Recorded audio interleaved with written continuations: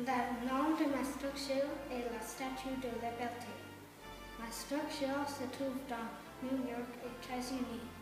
Ma structure a une hauteur de 46 mètres.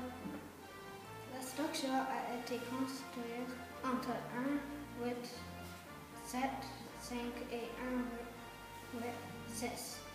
La structure a été construite par Frederick structure est faite de acier et fer forgé. On peut trouver ces formes géométriques en triangle. Savais-tu que, que des éclairs ont déjà frappé la statue de liberté? Le vrai nom est Liberty, a lightning of the world.